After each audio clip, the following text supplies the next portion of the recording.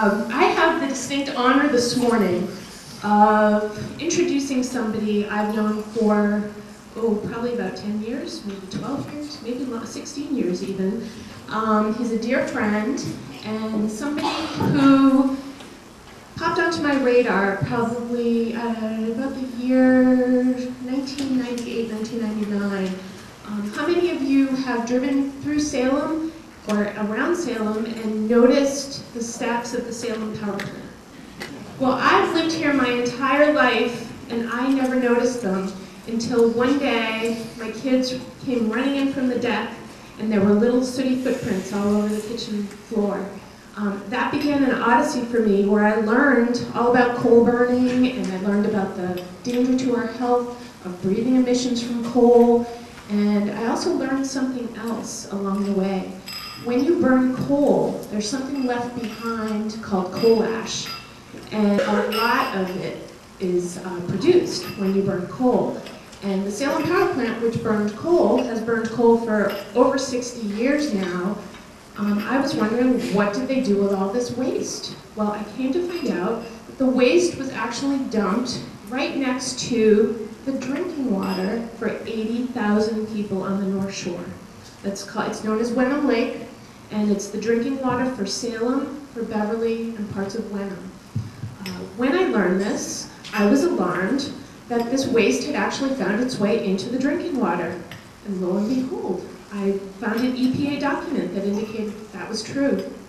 So I called up uh, somebody who I just knew in passing at that point, a gentleman named Jan Schlichtmann, who is an attorney who lives in Beverly, and he, uh, very busy man, he had a, uh, had a book written about, about him and one of his cases, and then a movie with John Travolta playing him, uh, doing not as good a job as Jan does playing himself, but still, John Travolta did a pretty good job. And I called him up and I said, Jan, I said, you're not going to believe this. You're drinking water.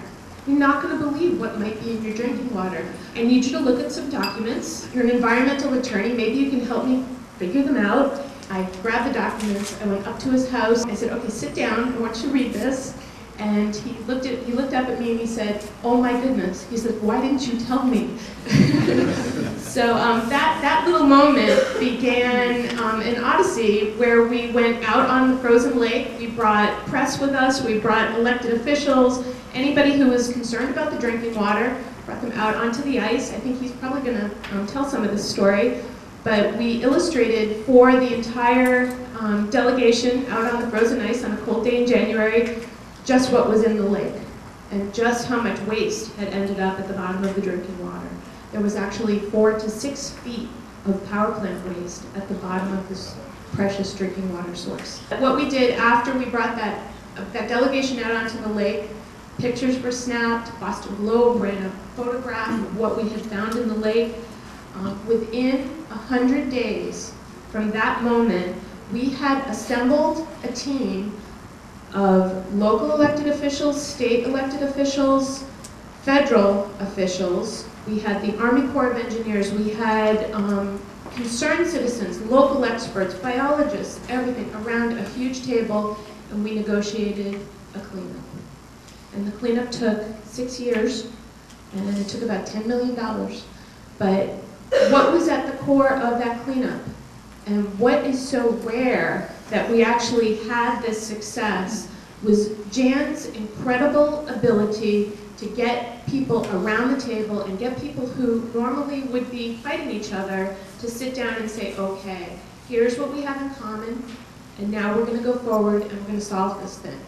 Instead of fighting, which it's in our nature to do, he, he, his talent and his ability to do this is really what brought about this tremendous success. So for anybody who goes to a restaurant in Salem, if you don't live there, or you go to a restaurant in Beverly and you ask for a glass of water, your water is a lot cleaner because of Jan's negotiating skills.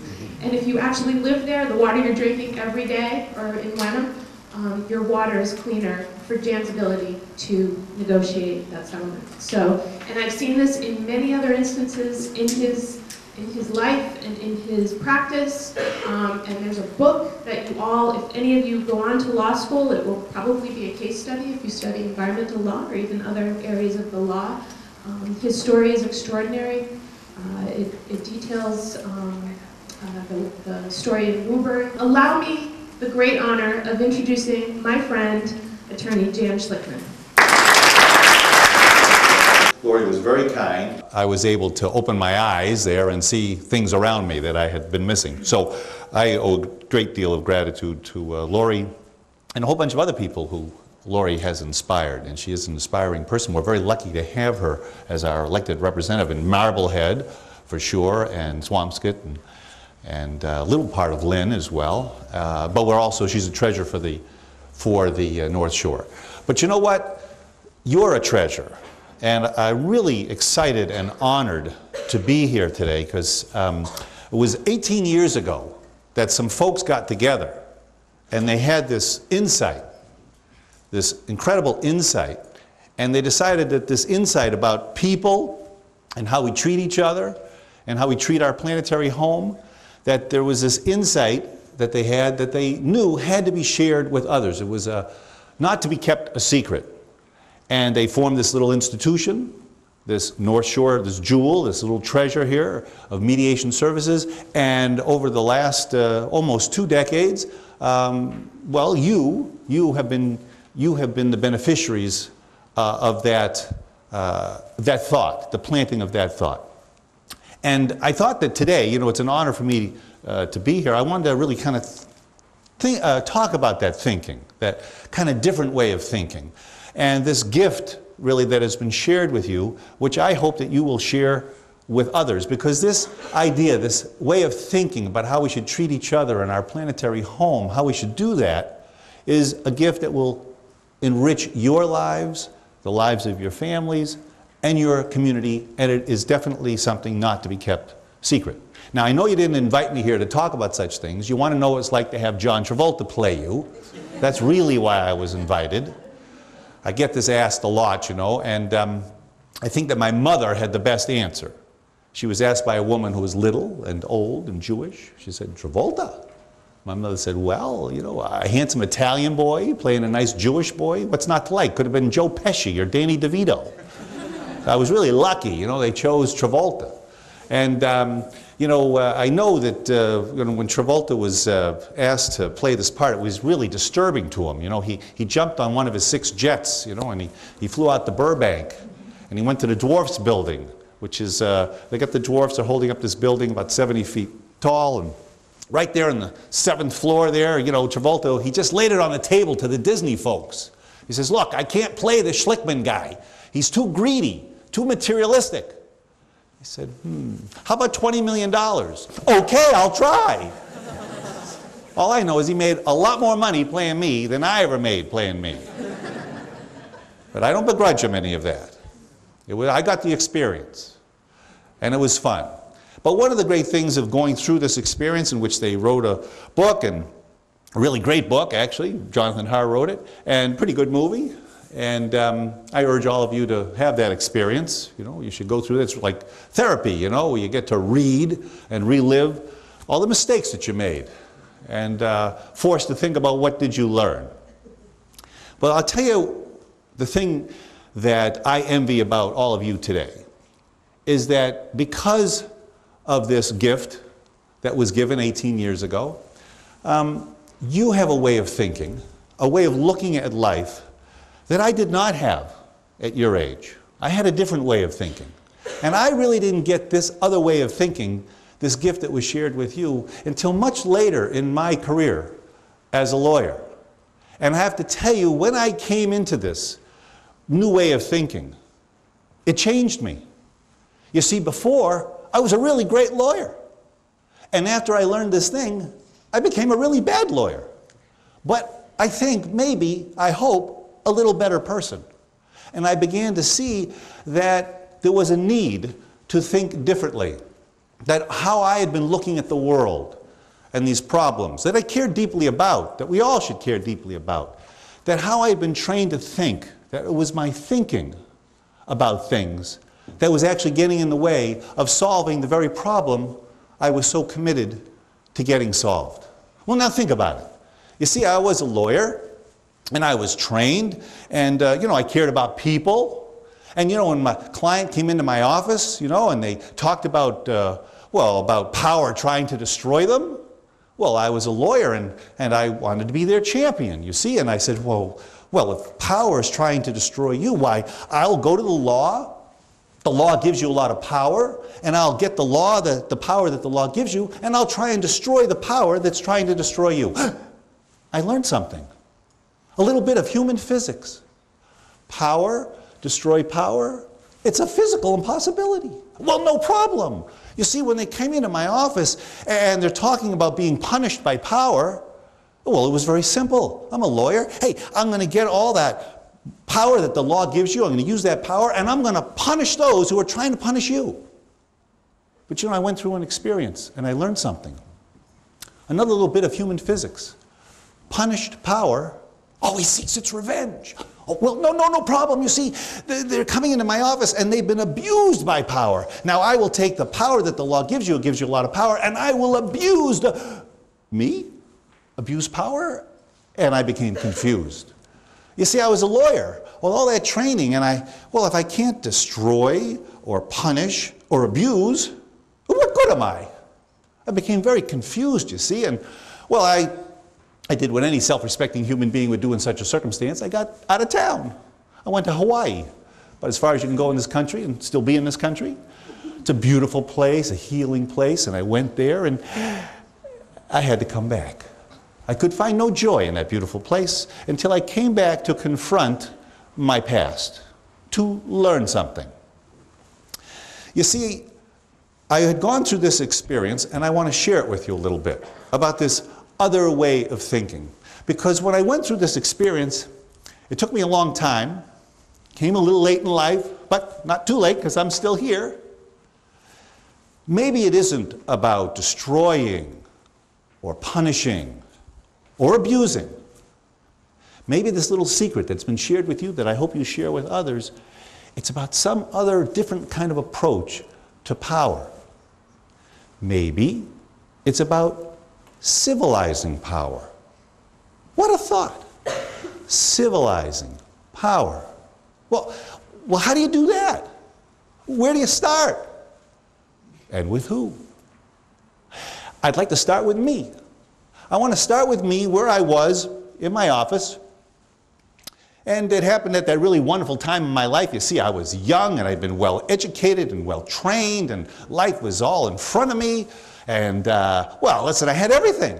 I had uh, the clothes, you know, I had the car, I had the career, I had the colleagues, I had the credit, I had it all. You see, and um, well, then I was in my office, and then some mothers from Woburn, little working class community near here, they came into my office. They told me a story.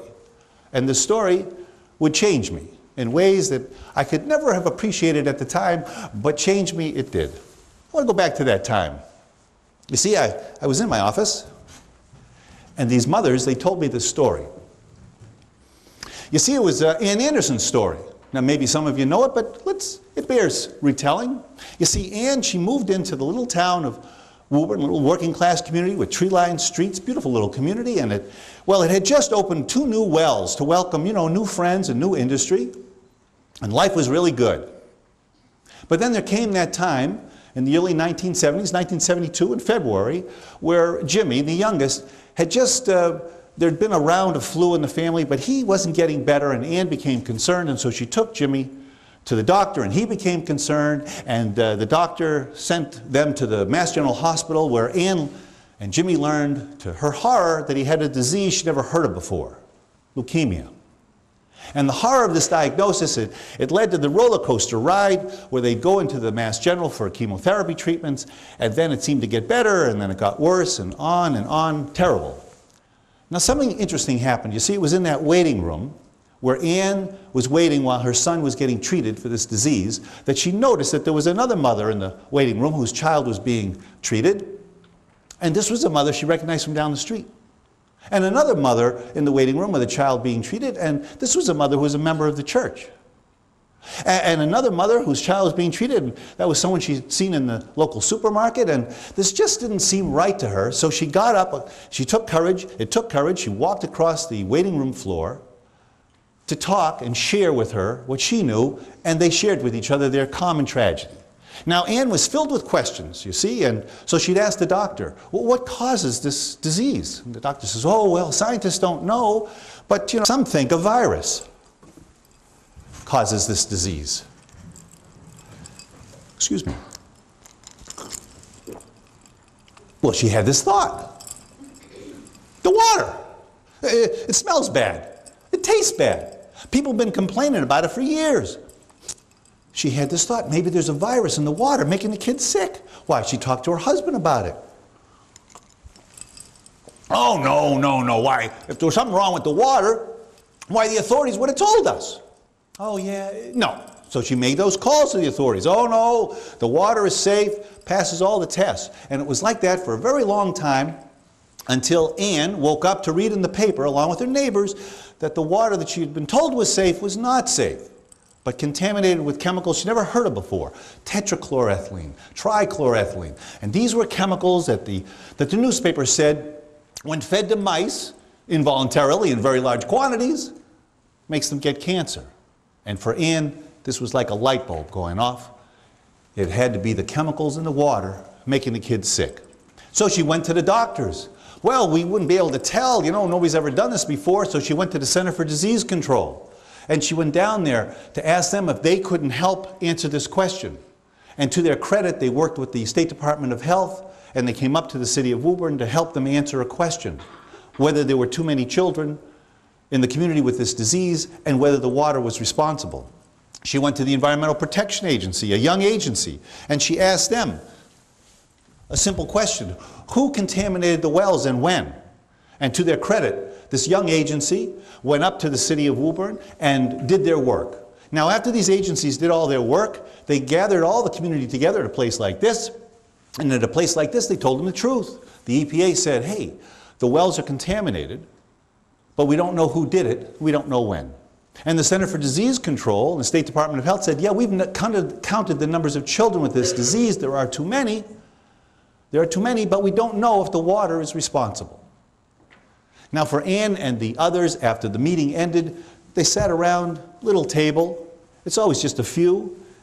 And at that table, they made a decision to get a lawyer, to get me, thinking that getting a lawyer, getting me, would help them get answers to their questions. Now, I remember that moment in my conference room. You see, they told me the story, and it was a story, and of course, it affected me. You know, I was a lawyer, but I was also a human being. And I was affected by the story, but I had to explain I'm also a lawyer. Says that my job is not to get answers to your questions. That's not my job. You see, my job is to well, look at someone's problem. If I can make a case out of it, well, then I can help. But if I can't, I can't. Now, for me to make a case, you see, I got to have a, a wrongdoer, bad guy. Well, who did this? Oh, authorities don't know. Authorities don't know. And I'm thinking to myself, gee, how much time and money am I going to have to spend to find out who did it? And after I find out who, are they going to have the what that make it all worthwhile? And I said, look, there's something else that the law requires. You know, between a wrongdoer and wrong and this terrible injury, there has to be this connection, a thing called causation. Did, did uh, any of your doctors tell you that this contaminated water was responsible for the, the children's disease? No, the authorities don't know, no, doctors don't know. And I'm thinking, gee, is there a scientist or a doctor in this world I could, I could get to testify? And after I sobered them up, what kind of witness would they make? No, no, no, no, no. I knew this was not a case, never been done before, not something I could do. But they wouldn't take no for an answer, and so you know what? I, I knocked on the doors of those who had more experience and more wisdom and more resources, and I asked them if they would help, and I found out why they had more wisdom and more experience and more resources. They were busy, but thank you very much. So I went back to the families. I told them the truth. I can't help you. Do you know what the mothers did? Do you know what they did? They held their children up to me. And they said, Don't you get it? Our children are ch- choking to death on the lies. We need the truth. The truth. I'm a lawyer.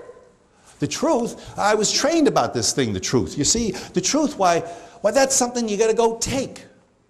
The truth, that's something you have to go and invade somebody's other property to get. You know, and when you do that, there's, you know, they don't like that, and oh, you know, and I thought about it. It was just, uh, well, I, you know, I had to, I tell you, I, I thought about it like a lawyer thinks about it. You see, I, I thought about the children, I thought about the challenge, and I thought about the treasure. And I said, this is what I want to do. So I went and I talked to my partners, and they said, hey, all for one and one for all. We decided, hey, this is what we will do. And we joined the journey of these families. Now, this was a journey. You see, we had to go and talk to all these people with different experiences that had never been asked to, to look at this problem before. And it all became very confusing, all these different experts talking all these different languages, and we decided to bring them together at a place like this. And we did. We brought them all together. You see, there was a hydrogeologist and a geologist and an immunologist and a cardiologist and a psychiatrist, mostly for me and my two partners. So we brought all these ologists together in one room at one time to think about something that no one ever asked those folks to do before. Not a corporation, you know, not a university, no government had ever asked all those folks at one time to come and talk to each other about what? Whether these chemicals in water can get children, make children sick, can give them cancer. Now I have to tell you, it was really interesting because we learned a lot. We learned about, you know, the making of things. You know, when you make things, you make waste. We learned about the chemical constituents of that waste. We learned about what they did with that waste at the end of the day and, and where it went and what happened to folks when it got there. Something else we learned. We learned about the truth about these chemicals and the conduct that can kill. You know, I remember thinking about all of this, and I have to tell you, all this knowledge and wisdom and insight was, uh, it was intoxicating. You see, because I realized as a lawyer, I could bring the case that nobody ever brought before. And we brought the case that had never been brought before. You see, we sued these two companies, two of the largest corporations in the world at that time, W.R. Grace and Beatrice Foods. One was 8 billion, the other one was 6 billion. Shows you how far we've come. The scale has gotten bigger, but they were really big then. They made lots of things, almost everything, between the two of them. And uh, we did sue them. And we accused them of engaging in conduct that made the children sick, that gave them cancer. You see, we, we had done the test that showed that, yeah, these chemicals in small quantities, yes, they were, but they're not so small in the water that the body doesn't see them and wants to get rid of them. And in the act of trying to get rid of these chemicals, it breaks that little strand of life and in that broken strand, a cancer can take root. So we did bring that case. And it allowed us, you see, the law gives you a lot of power, and we got to go on their property. And I went on their property, you know, looking for things, like lawyers look for things. And I came across something I'd never really experienced before a pit. You know, pits, they're, well, pits are dug by people to bury things. And uh, I learned about pits, that they're dir- dirty and they're dark and they're dangerous. And, you know, as a lawyer, you know, you go in, you, you start digging a pit, you realize you end up digging your own, digging your own pit. And something else about going on somebody else's property and digging a pit and discovering things. Usually they return the favor, invade your property, and start digging in your pits where you've buried things. Now, with all that invasion, there's conflict. And with all that conflict, there was war. And war is the only way to describe it. Now, this war, this legal war, was just like every other war. You know, it, it took much more than it gave back. It took everything, in fact, and it ended the only way a war can end in exhaustion. Now, it made for a really great book and a pretty good movie. And I urge you, if you ever had the chance, Jonathan Harr did a great job in the book, really got into the belly of the beast. But I have to tell you, at the end of that experience, we had our victories and our defeats, but at the end, you see, there came that moment where I had to survey the wreckage of all that had gone on. And when I surveyed that wreckage, when the case was over, and we had victories and we had defeats, but you know, at the end, I couldn't see anything. You see, I went to get the car, it was gone. Yeah, they, they took it. And my credit, eh, they took that too. And the clothes, yeah, and the career, eh, it was all gone. All of it. You know, and I had to do, like I say, what any self respecting human being would do in such a circumstance. I got out of town, I went to Hawaii, but I did have to come back. And when I came back, something interesting happened. You see, we had shared all this information with the environmental agencies. And the environmental agencies had looked at all that information that we had shared and had said, hey, the families are right. And they did something interesting. They called the companies together at a room like this. After our case was over and the war was over, they called them together at a place like this and they shared with them what we had shared with them. And at the end of all that sharing, something interesting happened. The companies, well, they wrote a check for $70 million for a cleanup. It'll take 50 years. Yeah, that, you know, that happened. And something else really interesting happened. You see, um, uh, well, I had to come home and I had to confront my past. Now, where I live, it's a beautiful little place, overlooks that harbor that unites all of us. And I'm on this little granite headland cliff, you know, overlooking the ocean, that troubled spot that changes every day. And, and I had to come back. And when I came back, I, was a, I had to confront the past. And when I confronted the past, all I had was pain and failure. And I couldn't see what I had gained, only what I had lost, you see. And when I was so uh, in turmoil, I stumbled, I tumbled, I nearly tumbled all the way over the edge, I have to tell you. And I, and I managed to grab hold of the outstretched fingers of a branch, you know, and I held on for dear life. But I have to tell you, you know, I, in my exhausted state, I couldn't see a way up and I couldn't see a way out. And all I could think about was failure and what I'd lost. And well, I, I closed my eyes to accept my fate. And I have to tell you, it was in that long, endless moment, swinging between life and death, that I realized that I had something in my hand, something important. And, and this thought, it made me want to live, you see. And I saw that one branch leads to another, and from the branch to a limb, and from the limb to the trunk, and from the trunk to solid ground. And I was so overwhelmed by my accomplishment, I decided to stay right here, this place we call home, and I decided to make this place my home. I decided to get married, and then three reasons came forth for me to want to stay firmly rooted right here in this place. Something else interesting happened. You see, the book came out by Jonathan Harr, and, and then the movie, and then the move, the, the uh, phone calls all started to come, especially on a Sunday from these people who said, Hey, uh, I read about how you're this lawyer and, and how you gave up everything for your clients, including your sanity. You sound like just a lawyer for me. Ah! No, no, no, no. But there was a phone call. It was a mother, it's always a mother, from Toms River, New Jersey. And she said, You know, we've been reading this book about this contaminated water and these two companies. Well, we've got contaminated water and we got two companies. It's always two. Two big companies. It's always two big companies. And we got a lot of children sick with cancer, and we got a lot of questions and few answers, and we're wondering if you wouldn't come down and share with us what you know. How could I say no to her? So we did. Came into her living room and we shared, and we decided to do something interesting. We decided to form a partnership. Yeah, between lawyer and client, kind of a novel approach. You know, partners, they, um, they look at each other as equals. They look at problems solving as something that you do together, and that all of us have limited resources, and we all have to use those limited resources to solve the problem. Now, we were so intoxicated by that idea, we decided to knock on the doors of the local government and the state government and the federal government to form a partnership. And that worked so well, we decided to do something else, never been done before. I decided to knock on the doors of the lawyers for the companies responsible. And um, who should uh, come to the door but the lawyer who used to represent Beatrice Foods? Ah, oh my goodness. Well, it's not like we didn't have something to talk about. So we went to a place like this. And at a place like this, we kind of shared with each other, like lawyers can do, you know. And at the end of all that sharing, we decided to announce a formation of a limited partnership. We decided to meet at a place like this, share with us what we knew over time. And I have to tell you, it wasn't a month, it wasn't several months, it wasn't a year, but a couple of years of all that sharing, something interesting happened. We made an announcement, a public announcement, that we had come to a resolution, that we had actually signed an agreement, an agreement to give the families the economic tools to, to dig out of the rubble of their experience. Now, something else interesting happened. You see, there came that summer's night when uh, there's new agency, the Agency for Toxic Substances and Disease Registry. That's an agency uh, formed by Congress in the wake of Woburn to help communities determine if toxic chemicals in water can make people sick.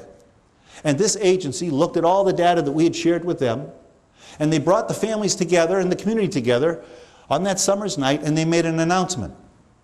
The families were right. The water was responsible. The children who were exposed in utero to these, this chemical contaminated water had a 13 times greater risk of contracting the disease than those who were not exposed. And the connection was so powerful that these agencies who had never seen such a connection before announced it that night. It became the first study of its kind to say we got to care about what's in the water because if we don't, it can make us sick become a shroud over our future. Now, I remember that night. I remember going home in the company of the families that night, not so many as when we first started.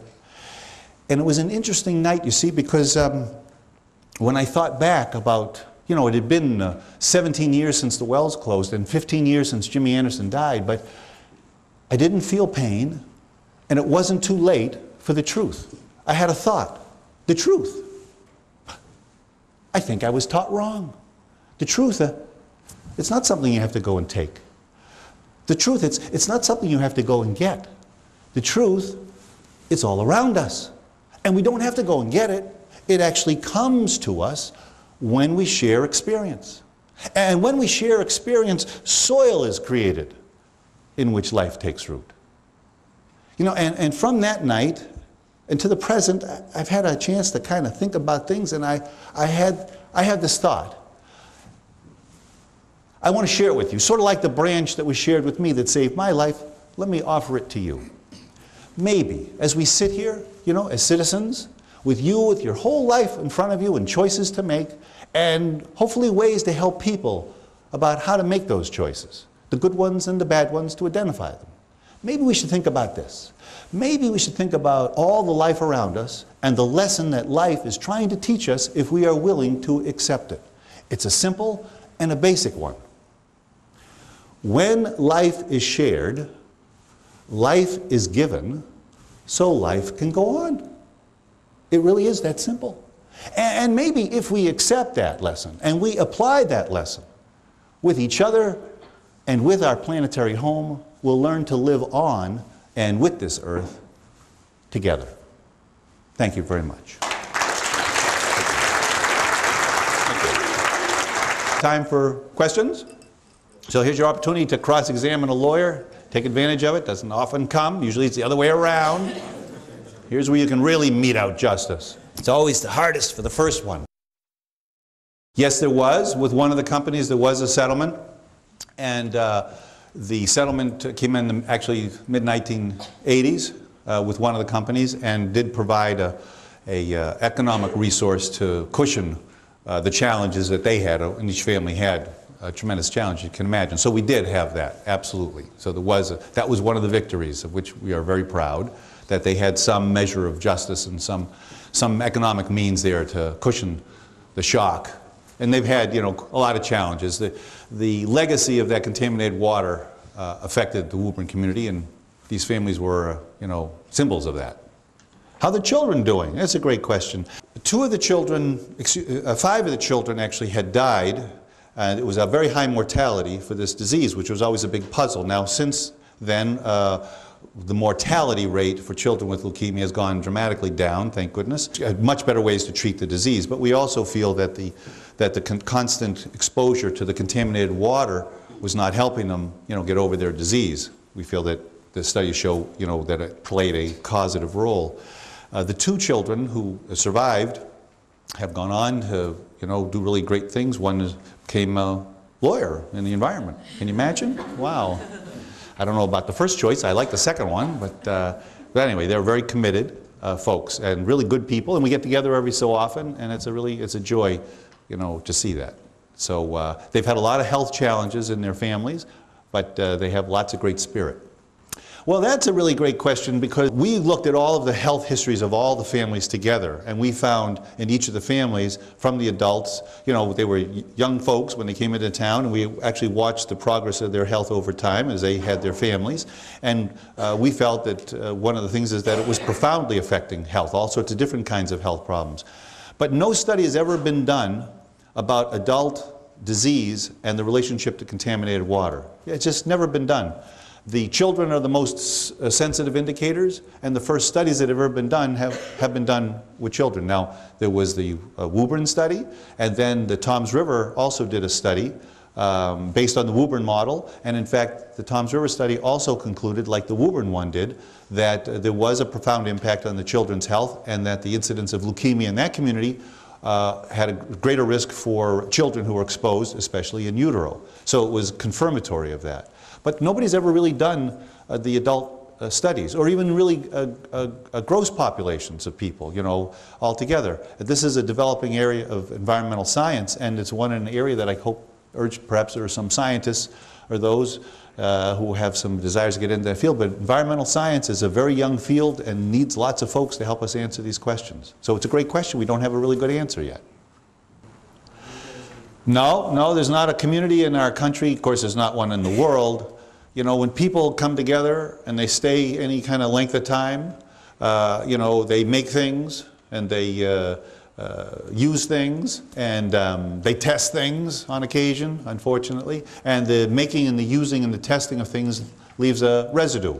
And you know, uh, Rachel Carson talked about this. Actually, her book came out the same year that the Wells G&H opened up in 1960s, uh, 64. And in her book, Rachel Carson did something really interesting. What she did is that she went and looked for all the places that life takes root, you know, the air, the earth, and the water.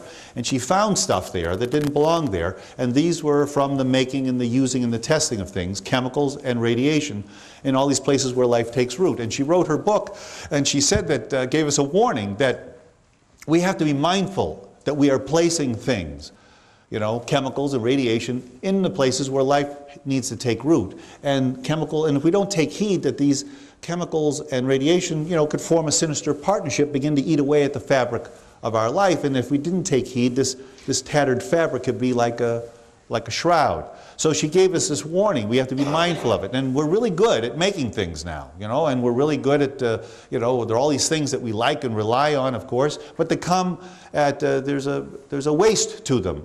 And the question we have to ask is, is it a necessary waste? And what do we do with this waste? You know, is this a sustainable waste? Do we, what do we do? How do we have to begin to think in terms of the whole life cycle of a product? Because very much that's going to determine the life cycle of us. You know, the life cycle of how we make things and use things, get rid of things, uh, is going to determine our own little life cycle. And we need to be very mindful of these things. We have to begin to think about, because the earth is getting a lot smaller, because there's a lot more of us, and we're getting really good at doing things. You know, it's not just, uh, well, knocking down one forest to build things.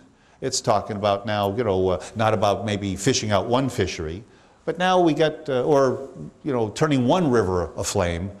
We now got to think about a burning planet. You know, the scale of it is just so big. So we have to begin to think and use our talents to think about our impact on the earth, our impact with each other uh, and the earth. And this is something that we need all of your brains to think about, and this kind of different way of thinking about how do we solve these problems of living together? How do we solve these problems of uh, how we treat each other? And how we treat each other and how we treat our earthly home very much connected. And the, if we allow for abusive power between each other, it's very much like the abusive power between us and the earth. When we abuse that power, uh, it's not sustainable. People get hurt, communities get destroyed, physically, emotionally, uh, environmentally. And at the end of the day, we need a place to take root. You know, like every other living thing, we have to root ourselves in our communities. And so we got to care about the air and the earth and the water, which is our home. And we got to fight this, um, this kind of one-sided thinking or one-dimensional thinking that just says, well, I got to get rid of the air and the earth and the water to extract this thing I think I need that has value. And this kind of extractive metaphor and this kind of extractive imperative that we have that just sees about the clearing away of things in order to get something of value, I think we've got to change. We've got to begin to think in terms of an energy source, not as something we extract, and therefore have to clear away air, earth, and water and communities attached to them.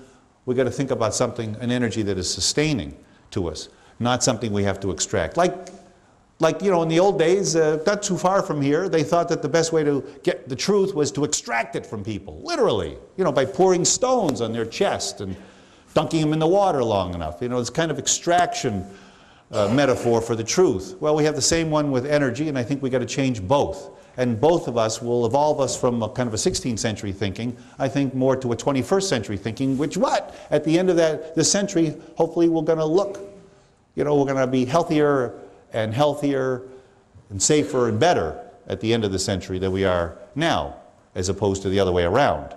But the choices that you make and the thinking that you apply uh, to living is very much going to determine how we get there and in what shape we get there.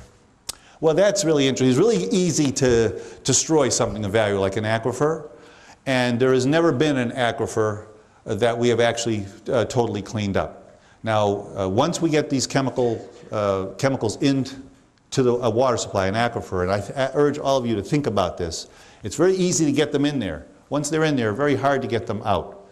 And there's all sorts of different uh, ways to try and do that. Now, let me offer you the the um, important story of Toms River. You see, they learned from Woburn. In Woburn, um, their wells were contaminated. They discovered it too late, closed down the wells. Damage had been done. But in, in Toms River, you see, because of Woburn, they discovered the contamination. They said, oh no, we can't drink this water. We got to go fix it. So what they do, they, they used the best technology at the time to get rid of the chemicals they thought were there, which were solvents, and the solvents were volatile. So they stripped them. So they had the water supply and this very sophisticated equipment that stripped the solvents out of the water and let the children drink the water. Well, 10 years later, all that, they found out something, that there were other chemicals in there, semi-volatile, that you couldn't strip out. And they stayed in there. And they also uh, wreaked havoc with the health of that community. So again, a, a cautionary tale about, you know, we think we know what's in the water we put there, but uh, we don't often. So it, we don't often get it right. So we have to think in terms of keeping water the way nature intended it, kind of work with nature. You know, it's developed over a few billion years, this beautiful machinery to create clean drinking water. And when we mimic that technology, nature's technology, we get clean water. I think it's, that's a wonderful question. I think two parts. Number one, we should be very mindful of, the, of our supplies that have not been contaminated and protect them. And those supplies that are, we need to fully test and develop technologies that will assure us that it actually is water the way nature intended us to drink it. And we have these technologies, we have to apply them. But we can't, when we do, when we apply them, we have to be honest with ourselves about what we're finding and uh, look for all the things that we know could be there, as opposed to just looking for some things and hoping that the others are not there. So the answer is, uh, it's we got to deal with, we got to recycle that water we've contaminated. We've got to figure out the right technologies to do it to protect ourselves and protect the supplies we have. Now we have huge, we're blessed with rich aquifers right now. You, we are part of a world that has rich underwater uh, water supplies. And we get lots and lots of rain, you know, comes our way every year. That's all great. Here and in the Midwest.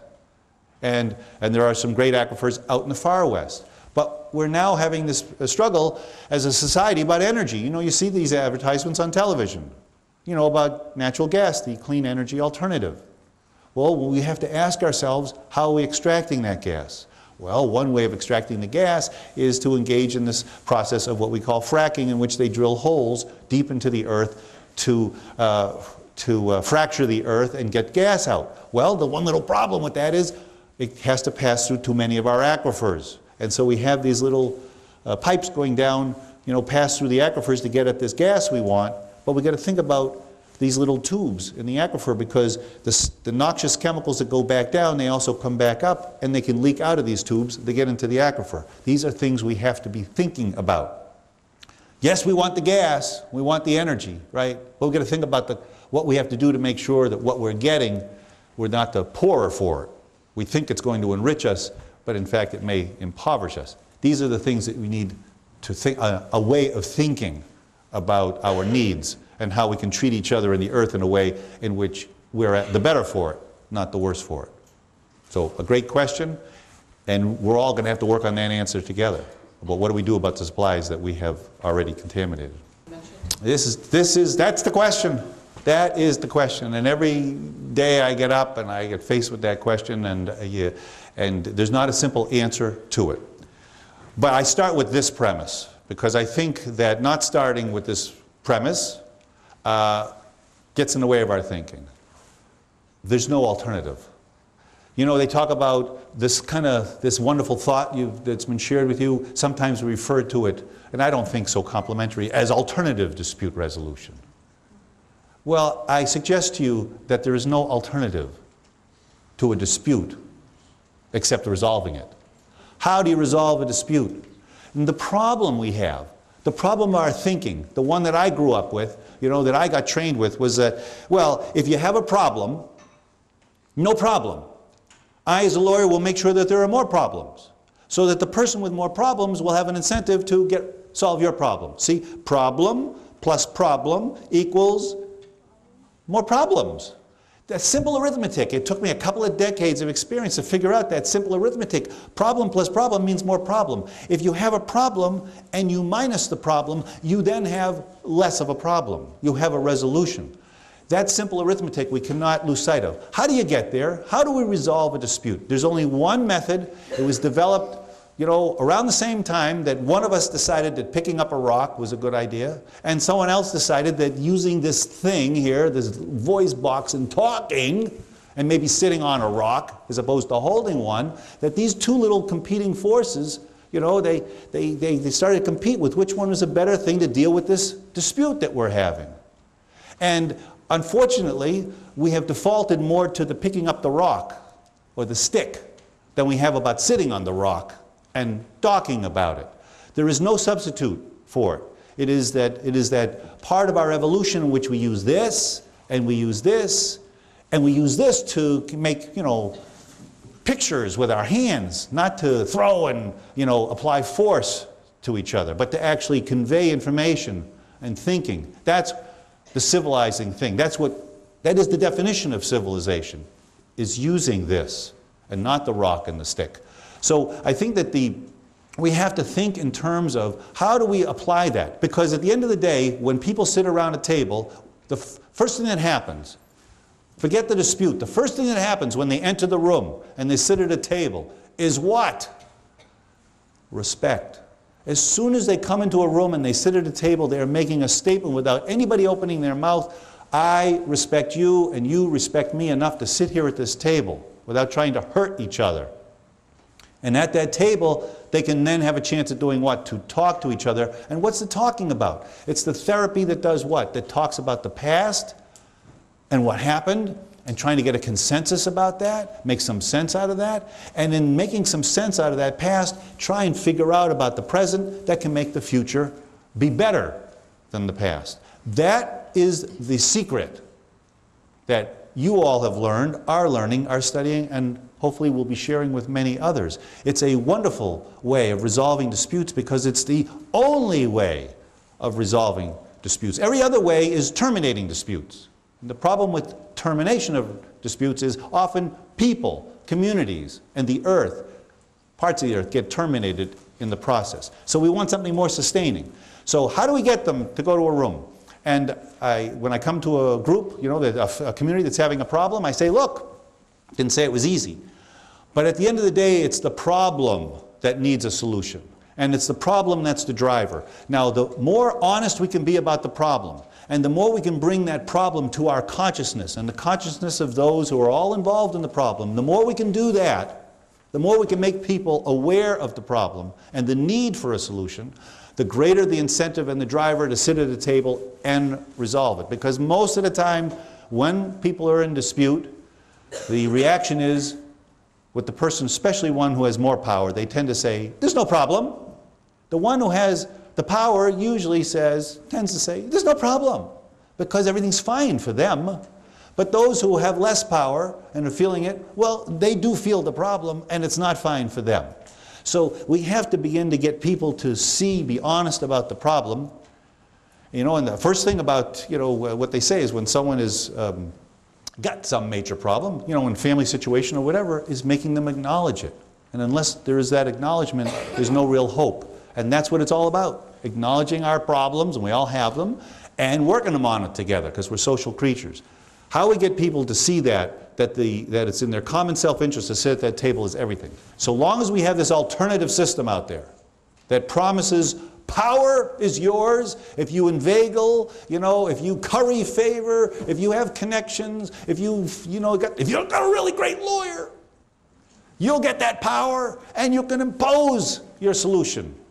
And power that abuses likes that, and power that is, uh, that is abused also likes it because they hope that maybe they'll be able to do to the other what the other did to them. And this kind of mindset fuels our legal system right now. That is a basic problem with our legal system. This is a part of the tape that should stop so that it will not, uh, when I go into court, you know, tomorrow, they won't be, hey, were you the guy who said this process is a disease process? Yeah, that was me, it's on tape. It's a disease process because it's a diseased way of thinking. This is Chancery Court, with its decaying houses and blighted lands in every shire, with its worn out lunatic in every madhouse, and its dead in every churchyard. This uh, is the Chancery Court with its, with its uh, uh, unfortunate suitor who goes in uh, slipshod heels and threadbare dress, begging and borrowing among every man's acquaintance. This is the Chancery Court that gives to moneyed might the means abundantly of wearying out the right.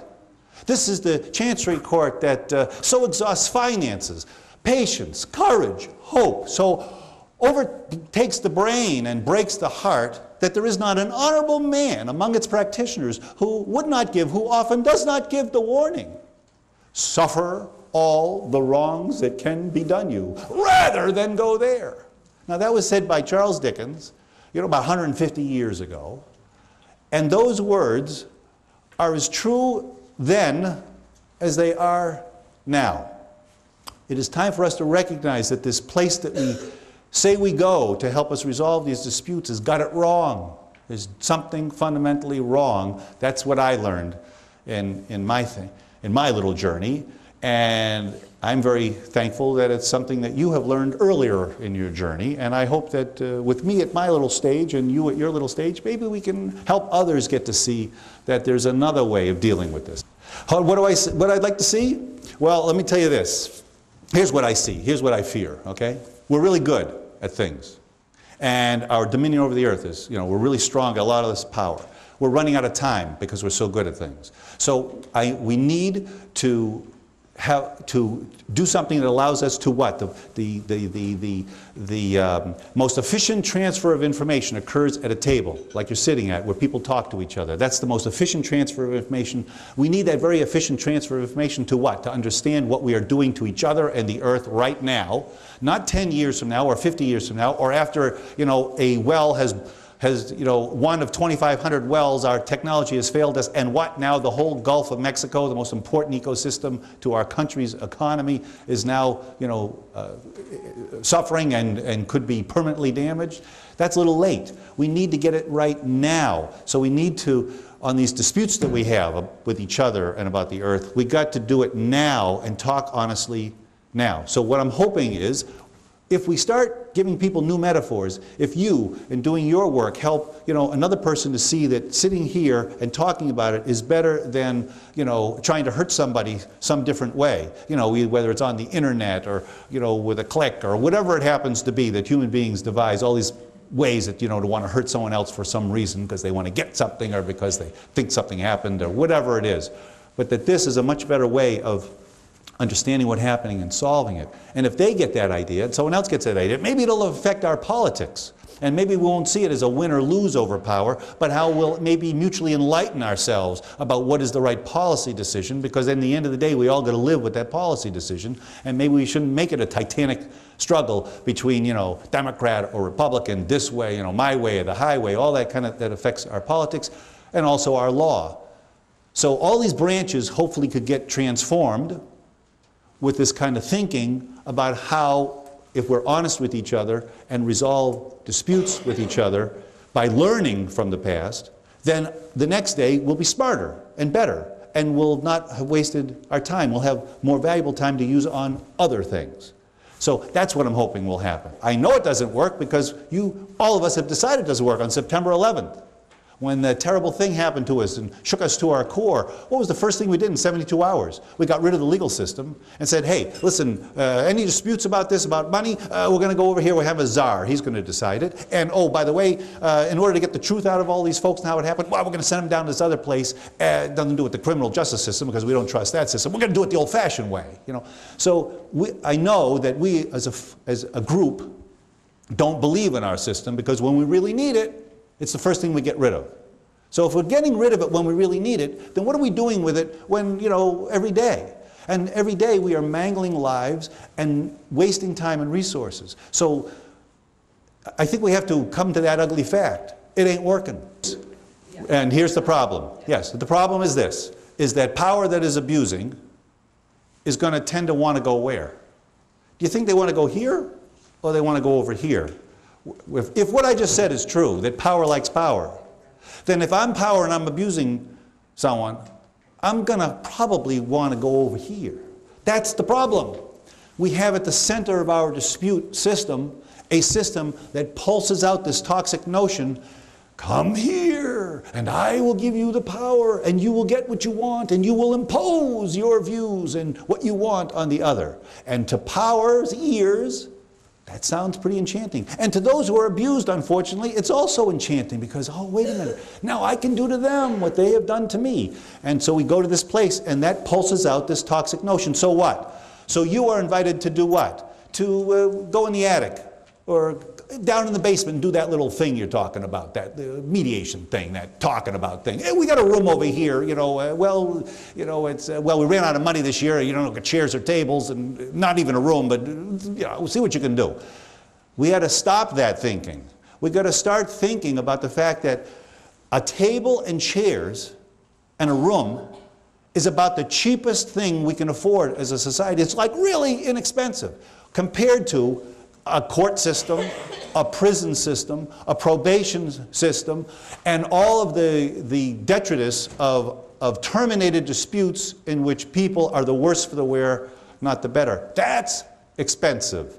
We begin to see that doing it this way is actually cheap. It saves time, it saves money, and you know what? It makes people who really don't like each other sometimes actually find out that hey, you know what, you, you, can help me here. And we can actually repair relationships. You know, what Burger said was to become healers of the law. He surprised all of his brethren when he said it. He, he became the father, they say, of the alternative dispute resolution revolution in 1982 when he said, hey, folks, I've come to this realization. The Chief Justice now, the Supreme Court, litigation is for crazy people. You got to sit down and talk about it. And you have to all become healers of the law. Well, you are healers of the rift. Help us heal. We got to have the healing metaphor, not this contest deciding metaphor. But until and unless we have at the core of it, okay, the social value, the political value, and the reality that the table and the chairs is the place we go, and we relegate, you know, that other thing, that contest deciding thing, for those who, who we make it socially unacceptable not to go here, and then what we do is that those who, who don't want this, we allow them, they can select themselves to this other thing, but it's not there to favor power. So there's no siren song. This is where the action is. Here's where we invest all of our, and make it socially unacceptable otherwise. As soon as that happens, as soon as that happens, power comes into the room, the one with more power and the one with a little less power, they all come into the room and they say we respect each other. And then what happens? Power becomes civilized. It's that simple, it's that magic that occurs in a dispute. Every lawyer, they can spend years in a system in which they're told not to talk to each other. And then there'll come a moment where they talk to each other, and in an instant, they find out, oh, that wasn't true? You didn't do that? And then all of a sudden, the problem gets solved. That's the magic we need to inject at the front end and make that the center of our, our attention, focus. Thanks for having me. I'm so psyched to be here. It's been so cool what, you guys do. I'm Hayley, and I'm from Marblehead, Massachusetts, and I'm a freshman at Marblehead High. So we have my my school has a mediation group here today. And um, basically, growing up, I was always one of those kids that was super shy and didn't talk much and barely had any self-confidence and just really felt like there was nothing special about me. And in the summer, coming out of fifth grade and going into sixth, I came home and decided that I was going to learn to play guitar and write songs. And spent however long after that writing as many songs as I possibly could and kind of making up for all the things I was always too scared to say. Since then, I've had the chance to play all over the place and play in schools all over the place and talk to kids and teens about self-expression and finding their voice and using it to do good and create change. And that's exactly what, what you guys do in your schools every day. And, and use your voices and help other kids to find their voices. So I'm going to do one that I wrote when I first started doing this whole music thing. And um, this is called Dreaming for a While.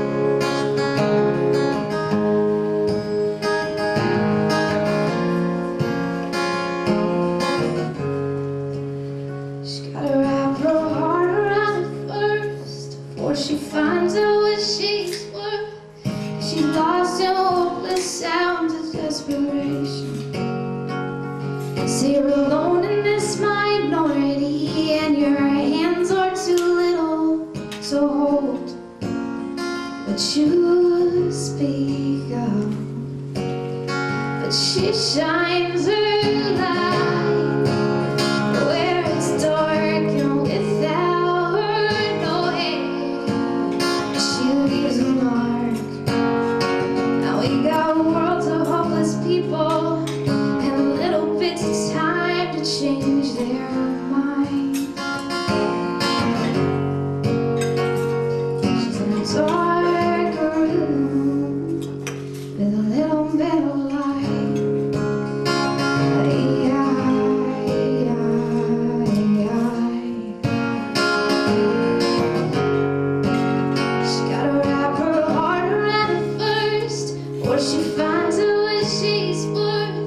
worth Cause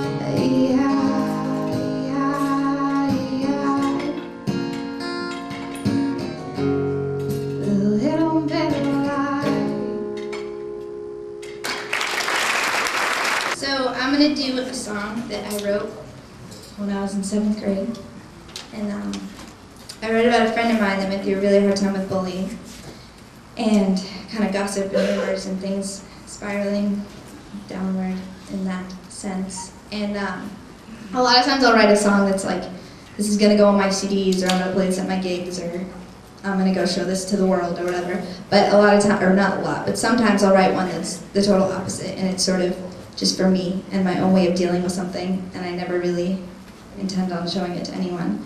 And that was the case with this song. And um, as much as it was about my friend and everything she was going through, it was more me and my own struggle and not knowing how to help her and just kind of having to watch her go through this thing that I didn't even understand.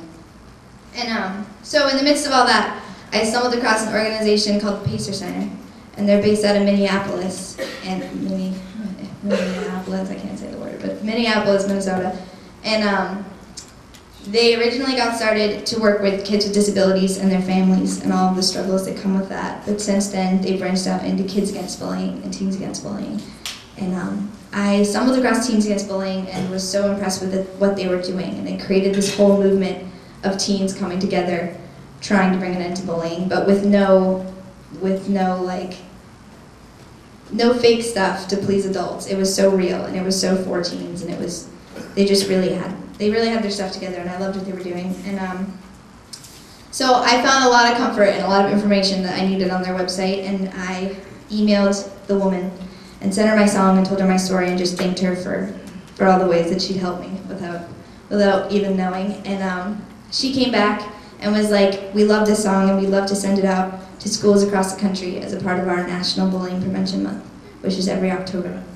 And um, so I got to work with her and other people at the Pacer Center and come up with classroom discussion questions and a whole kind of classroom toolkit um, to go along with the song and to go out to schools all over the place. And so I spent most of seventh grade coming home from school, my own school, and getting emails from kids all over the country telling me about how they related to the song and about their friends that have been through bullying and about themselves and how they've been through bullying and how they've bullied other kids themselves. And um, and it just became so much more real to me that it's not just something that, that we see on the news and that people talk about, adults talk about, that legislate, legislative people talk about, but it's a real, it's a real thing for us teens, and it's kind of our issue to deal with. Um, and so I'm really proud of this song, and I'm really proud of the Pacer Center, and this one's for my friend, it's called She's Fun.